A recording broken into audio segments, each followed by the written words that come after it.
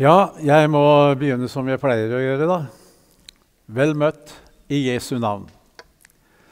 Det er et privilegium vi har å kunne samles på den måten. Så eh, ble det sagt her at jeg har hatt et engasjement i Misjonssambandet. Det har vært et langt engasjement, for å si det sånn. Jeg har vært der hele livet. Jeg har aldri hatt noen annen arbeidsgiver, for å sette det sånn, og har hatt forskjellige oppgaver i denne organisasjonen. Vi eh, har vært 22 år ute som misjonærer i tre forskjellige land. Vi begynte i Indonesia. Det er vår første kjærlighet. Der var vi i tolv år. Så ble vi kastet ut av Indonesia og havna i Singapore. Utlånt til et teologisk seminar i Singapore. Og jeg har sagt det mange ganger det var noe av det mest strategiske jeg har vært med på. Tenk å få lov til å være med og utdanne og fostre og forme ledere, pastorer og andre menighetsarbeidere i hele Asia også fra land der det ikke var mulig å sende misjonærer. Så har vi hatt en lang periode i Norge, som de fleste her vil vite, før vi reiste til Peru i 2012. Og um, der ble vi da i fire år. Vi syns vi har hatt et veldig rikt liv i Herrens tjeneste. For meg ble det Misjonssambandet. For andre her ble det andre sammenhenger. Grunnen til det, for mitt vedkommende, var at det var forkynnere fra denne organisasjonen som forkynte Guds ord slik at jeg fikk tro meg frelst. Det var forkynnere fra denne organisasjonen som førte til at jeg fikk kall til å reise ut. Derfor har jeg vært her. Og nå har jeg vært, blitt invitert til å tale her. Jeg har vært i ord- og Israel-sammenhenger mer lokalt, på Østlandet særlig. Men eh, det er første gangen jeg er på et sånt stevne. Sammen med kona mi. Vi har liksom delt livet. Og det har også vært en stor velsignelse. To av våre barn er misjonærer i Kina og i Afrika. Sjøl om alle er i Norge akkurat nå. Vi har fire barn. Så det var liksom en sånn lite ekstra tillegg fra det som var sagt i går kveld. Så ha meg unnskyldt. Jeg har fått et tema Israel og folkeslagene, Romerne 9-11. Jeg har egentlig talt mye over de kapitlene de seinere år. Men eh, Så jeg tenkte det at her er det mange som har hørt meg si noe om det fra før. Så jeg, må, jeg har tenkt å gjøre det på en litt annen måte. Så får vi se hvordan det barker av gårde. Håper dere har med dere Bibelen. Eller det er vel så kjent her i Bibelen at dere vil ta igjen det jeg kommer til å lese. Så skal vi be sammen. Ja, kjære Jesus. Takk for at vi får være sammen her om ditt ord. Vi takker deg, Jesus, for uh, at du gikk i døden for våre synder. Takker deg for den åpne dør vi kan få komme til deg, Jesus, med alt som måtte være på vårt hjerte. Vi kan få lov til å be om frelse og fornyelse for ditt folk. Og vi får lov til å be for Israel og folkeslagene. Jesus, du kjenner oss. Vi ber om at uh, denne dagen må vi få et gløtt inn i hva ditt ord sier om det temaet vi har fått. Så må du være med oss, du, i ditt navn. Amen. Ja Israel og folkeslagene, Romerne 9-11. Jeg har tenkt at jeg vil begynne med et par vers i første kapitlet i Romerbrevet. For jeg tror det er umulig å forstå hva Paulus er ute etter i kapittel 9-11 uten at vi har klart for oss hva som står der. Og det er de to versene som gjerne blir kalt for romerbrevets temavers. Og Det er kapittel 1, vers 16 og 17. Jeg har lyst til å lese de til å begynne med. Der står det slik For jeg skammer meg ikke ved evangeliet. For det er en Guds kraft til frelse for hver den som tror. Både for jøde først og så for greker. For i det åpenbares Guds rettferdighet av tro til tro, som det står skrevet:" Den rettferdige av tro skal leve. Romerbrevet er kanskje den mest leste bok i Bibelen. Her finner vi kjernetekster om det falne mennesket uten Gud, borte fra Gud. Da taler brevet både om jøde og om greker. Hør bare hva Paulus skriver i kapittel 3, versene 9 og 10. Der står det slik har vi noe fortrinn? spør han. Altså vi jøder. Har vi noe fortrinn? Så kommer svaret nei, slett ikke. Vi har jo allerede anklaget både jøder og grekere for at de alle er under synd. Som det står skrevet, det er ikke én rettferdig, ikke en eneste.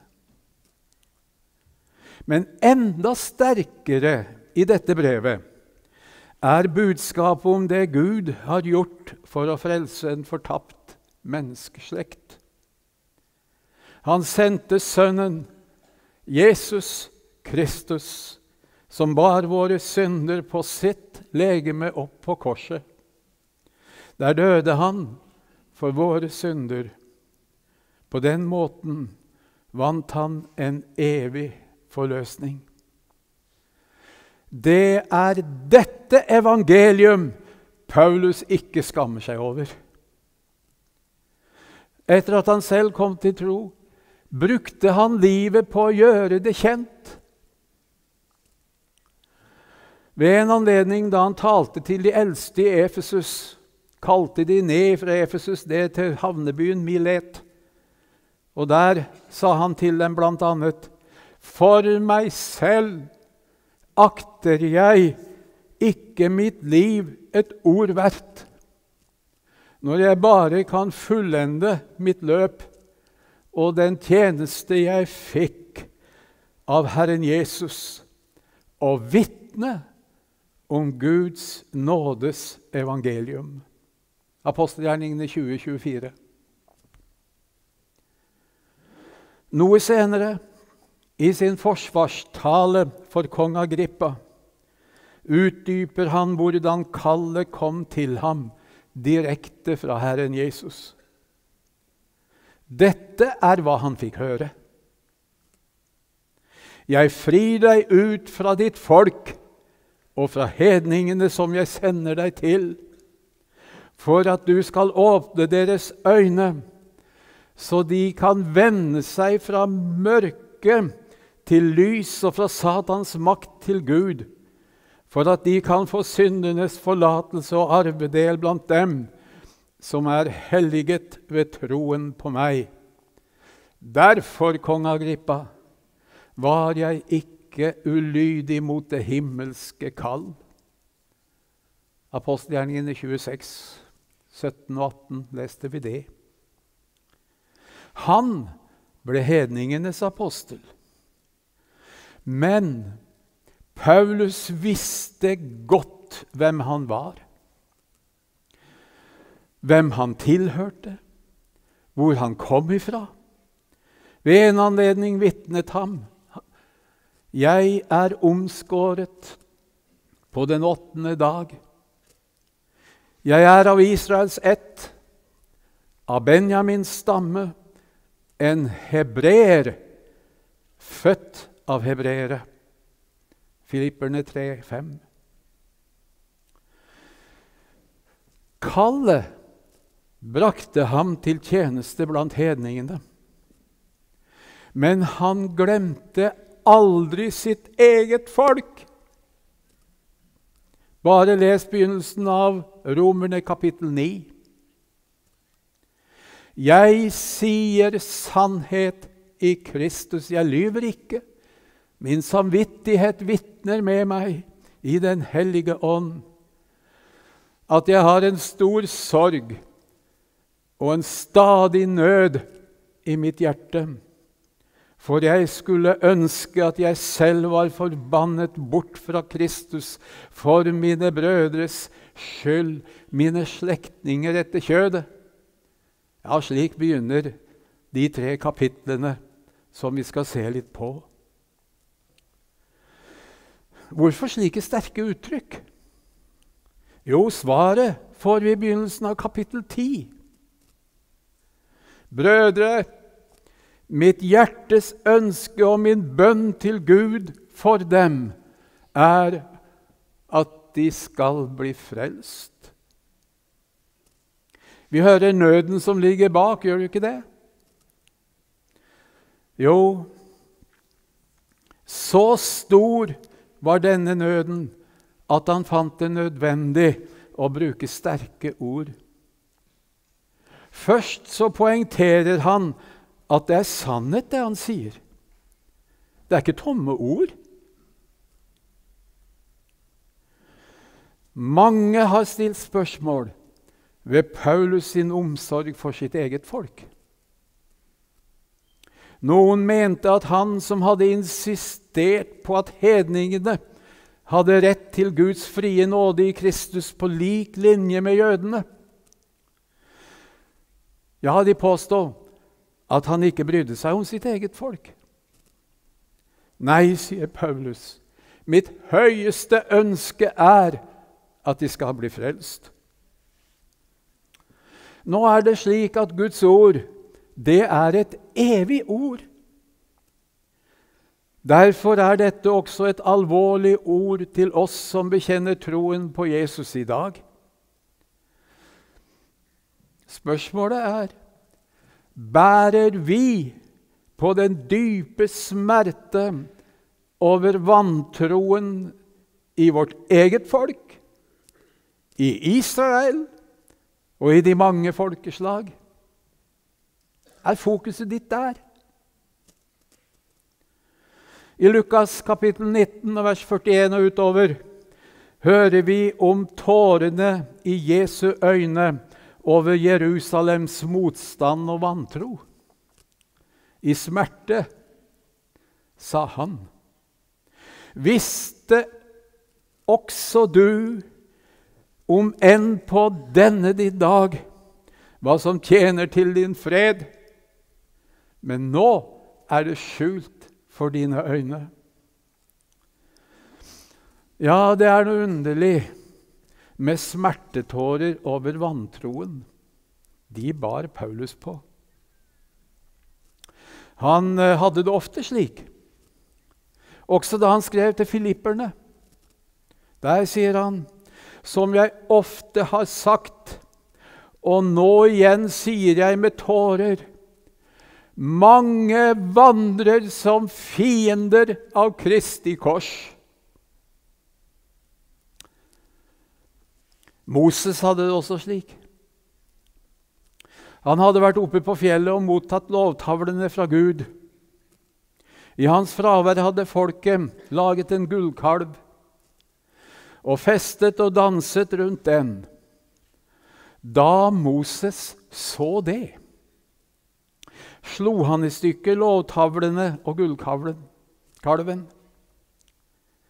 Det ble et voldsomt oppgjør med folkets synd.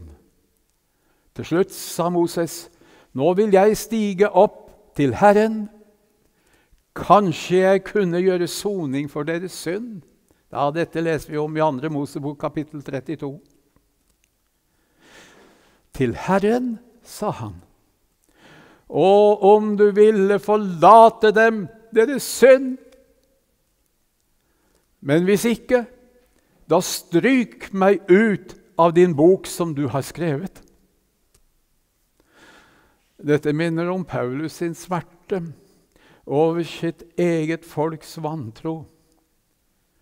Jeg skulle ønske at jeg selv var forbannet bort fra Kristus. For mine brødres skyld, mine slektninger etter kjødet. Romerne 9,3. Det sa hedningenes apostel. Hør også Paulus sitt vitnesbyrd i Romerne 11, som også inngår i den, disse tre kapitlene, versene 13 og 14. Til dere hedninger vil jeg si Og nå må vi som er samla her, høre godt etter, for der hører vi hjemme. Så sant jeg er hedningenes apostel, så priser jeg min tjeneste. Ja, det gjør jeg òg. Jeg er glad for at jeg fikk den tjenesten jeg fikk. Men så legger Paulus til Å, kunne jeg bare vekke mitt folk etter kjødet til nidkjærhet og få frelst noen av dem? Ja, det står skrevet slik. Jeg kjenner en medarbeider i Indonesia, for å ha meg litt unnskyldt. Jeg lærte å sette veldig stor pris på ham. Vi reiste en god del sammen på møter, evangeliseringsturer, masse møteuker i kirker, forskjellige kirker i Indonesia, og også i helt, helt unådde områder. Denne, min venn, har vekkelsens nådegave. Og det er ikke tall på de han har ledet til oppgjør med hedenskapet og til tro på Jesus. Han var og er til stor velsignelse for sitt eget folk. Jeg skal aldri glemme noe han sa med tårer i øynene. Vi hadde jo som regel en andagsstund på morgenskvisten og bønnestund. Og da sa han det slik til Herren. Jeg er villig til å stå på helvetes kant om jeg der kan hindre noen å falle nedi. Det satte seg fast. Jeg er villig til å stå på helvetes kant.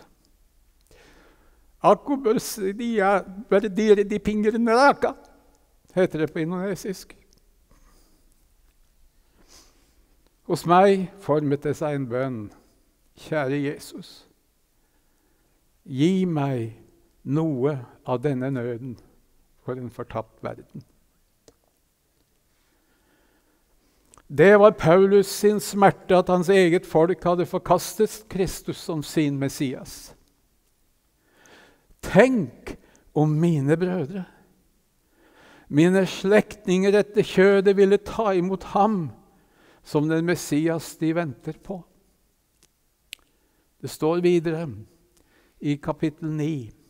De er jo israelitter, sier han. De er jo israelitter. Israelitt skriver seg fra det navnet som ble gitt til Jakob, han som kjempet med Gud, og som Gud velsignet rikelig.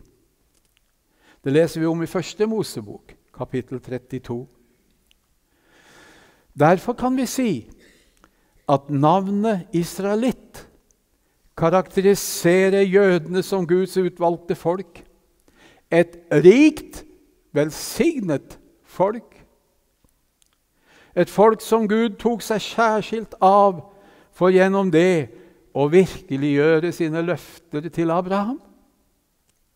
Med andre ord Israel er ikke et hvilket som helst folk, men Guds utvalgte folk blant nasjonene på jorden. Derfor har han gitt dem noe som han ikke har gitt noen andre. Paulus nevner en rekke ting i kapittel 9, vers 4 og 5. Vi hører om barnekåret og herligheten og paktene og lovgivningen og gudstjenesten og løftene. Dem tilhører fedrene, og fra dem er Kristus kommet etter kjødet. Hva betyr barnekåret i denne sammenheng? Er det ikke slik at vi som får lov til å tro på Jesus, vi eier barnekåret, vi òg? Men hva betyr det her i denne sammenhengen? Jo, et par bibelvers vil kaste lys over saken. Hosea 11,1. Da Israel var ung, hadde jeg ham kjær. Fra Egypt kalte jeg min sønn. Ja. Vi kan også nevne 2. Mosebok 4, vers 22 og 23. Dette var den beskjed farao fikk.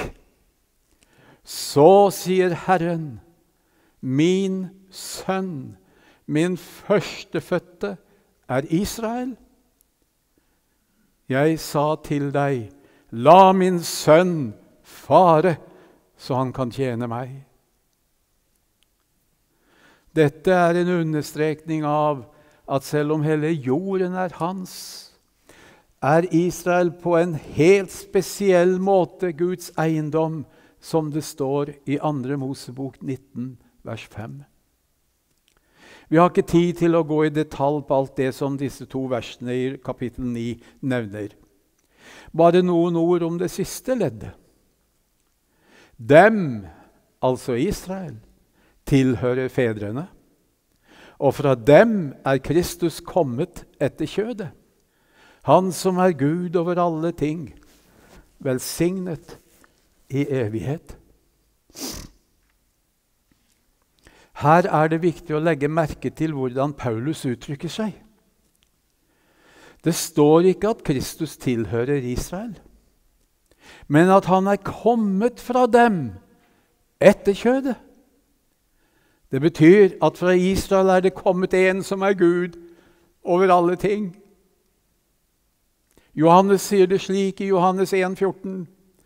Ordet ble kjød og tok bolig blant oss. Vi så Hans herlighet, en herlighet som den en enbåren sønn har fra sin far, full av nåde og sannhet. Gud var han, født inn i verden. Jøde var han, født av en jødisk kvinne. Han kom for å frelse det som var fortapt, både jøde og greker. Gud brukte dette folket til å gi menneskeheten verdens beste gave. I brevets temavers, som vi leste til å begynne med, står det et uttrykk som vi skal merke oss nå. Evangeliet er en Guds kraft til frelse for hver den som tror. Både for jøde først, og så for greker. Paulus er innom dette flere ganger i romerbrevet, f.eks. i kapittel 2 og kapittel 3. Men det er først i kapittel 9-11 at han utdyper hva som ligger i uttrykket 'for jøde først', og så for greker. Ja, Vi skjønner jo det at ordet 'først' det taler så opplagt om rekkefølge. Jesus sa til den samaritanske kvinnen, 'Frelsen kommer fra jødene'. Johannes 4, 22. Det betyr at løftet om frelse ved evangeliet ble først gitt til jødene. Men det betyr også at Gud ikke har trukket løftene om frelse tilbake fra jødene. Slik eh, mange vil hevde i dag, dessverre. Nei, løftene står fast. De gjelder jødene på en særlig måte.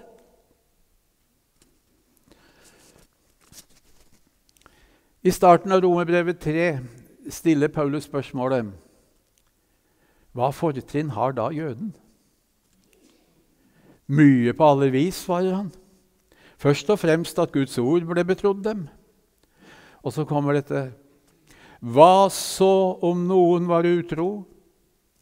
Skulle vel deres utroskap gjøre Guds troskap til intet? Langt derifra. Løftene står ved lag. Gud har ikke glemt sitt paktfolk. Fremdeles våker han over dem. Han vokter dem som sin øyesten, som vi hørte om i går kveld. Det kan jo bare bety én ting. En dag skal Gud gripe inn til frelse for sitt folk. Da vil folket omfavne sin Messias, Jesus Kristus, den stenen som de forkastet. De vil komme til tro på ham som sin frelser. Når hedningenes fylde er kommet inn, vil også det gamle paktsfolket bli frelst. Dette skal vi se litt nærmere på i neste bibeltime. Men dette betyr ikke at evangeliet ikke er for alle. Det betyr heller ikke at jødene skal frelses på et annet grunnlag enn andre folk. Da Peter vitnet for rådet i Jerusalem, gjorde han det klart. Han sa det slik det er ikke frelse i noen annen. For det finnes ikke noe annet navn under himmelen gitt blant mennesker som vi kan bli frelst ved. Apostelgjerningene 4,12. Vi, sa Peter. Både han og de som hørte, var jøder. Også på det som er blitt kalt for apostelmøte i Jerusalem. Vi leser om det i, i apostelgjerningene 15. Så reiste Peter seg og sa med myndighet til lederne i menigheten i Jerusalem, som alle var jøder. Gud gjorde ingen forskjell på oss og dem, dvs. Si hedningene. For ved troen renset han også deres hjerter. Vi tror at vi, altså vi jøder, blir frelst ved Herren Jesu nåde på samme vis som dem, altså hedningene. Ja, det er apostelgjerningene kapittel 15, vers 9 og vers 11.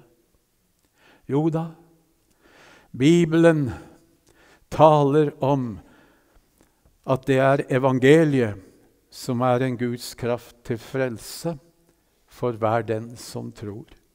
Både for jøde og greker. Ja, jeg er vokst opp med uttrykket 'Israels venn'. Det er sikkert mange her som er det, vil jeg tro. Men jeg har stilt meg spørsmålet mange ganger hvorfor er du det? En av de mest ihuga israelsvenner jeg har hatt den glede å kjenne svært godt, var min farfar, som jeg for øvrig er oppkalt etter. Han var eh, den første rektor ved Rødde folkehøgskole i Melhus sør for Trondheim. Han var det i mellom 30 og 40 år. De holdt ut lenge før i tida, ser du. På sine eldre dager ble han påspandert tur til Israel av sine røddevenner. Den levde han lenge på. Og jeg har arva noe av det han fikk med seg hjem ifra den turen. Bl.a. et navneskilt som står på skrivebordet mitt hjemme. Og en sånn brevåpner med innskrift av hans initialer på. Alltid fra Israel. Han hadde til og med en flaske med hellig vann på. Jeg glemmer aldri det der. Ehm, jeg husker seksdagerskrigen i juni 1967. Da fulgte han meget nøye med på nyhetene. Jeg fikk nesten inntrykk av at hodet var inni radioen, altså. Sånn fulgte han med. Og vi som eh, var på besøk, måtte pent holde fred. Kjøkkenbordet ble ryddet og okkupert av kart og notater. Hendene var knyttet i bønn. Bønn om Israels frelse både ifra fiendene, men også ifra sine synder. Slike opplevelser satte seg fast hos en 19-åring og har uh, fulgt meg gjennom livet. Jeg for min del vil være Israels venn etter Jesus og Paulus sin modell akkurat slik som min farfar. Jesus sa til de tolv, 'Gå til de tapte får av Israels hus.' Til dem skulle de forkynne frelsens budskap om at himmelens rike er kommet nær. De skulle bringe helbredelse til syke og lidende og vise dem omsorg, leser vi i Matteus kapittel 10 vers 6 og 7. Tiden skulle nok komme da budskapet skulle ut til folkeslagene. Misjonsbefalingen kom senere. Da ble kallet gitt om å gå til jordens ender med evangeliet, men først til jødene. Paulus hadde også bare ett fokus i sitt forhold til sitt eget folk. Det dreide seg ikke om politikk. Han var ingen politisk eller sosial aksjonist. Det er noe som er viktigere, sa han. Det gnagde i hjertet hans. Jeg har en stor sorg og en stadig nød i mitt hjerte. For jeg skulle ønske at jeg selv var forbannet bort fra Kristus for mine brødres skyld, mine slektninger etter kjødet. Brødre, mitt hjertes ønske og min bønn til Gud for dem er at de må bli frelst. Slik skriver han i Romerbrevet. Skal enda flere av Israels folk i dag reddes fra den evige ild, må de høre evangeliet om den Messias de har forkastet. Det er ingen annen frelsesvei. Så øyner vi at det skal komme en dag da Gud skal handle med dette folket og ta bort deres forherdelse. Den skal vi få lov til å se fram imot med forventning. Men som Jesus minnet sine om like før han ble tatt opp til himmelen. Det er ikke deres sak å vite tider eller timer som Faderen har fastsatt av sin egen makt. Var noe av det siste han sa til disiplene før han ble løftet opp. Vi leser om det i apostelgjerningene kapittel 1. Det var svaret de fikk på spørsmålet om gjenreisningen av riket for Israel. Så legger han til her og nå skal dere være mine vitner, både i Jerusalem og i hele Judea og Samaria og like til jordens ender.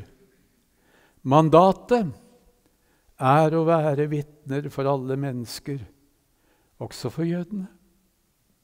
Jødene trenger evangeliet. Du er vel opptatt av det, du som er her i dag? Skal vi be?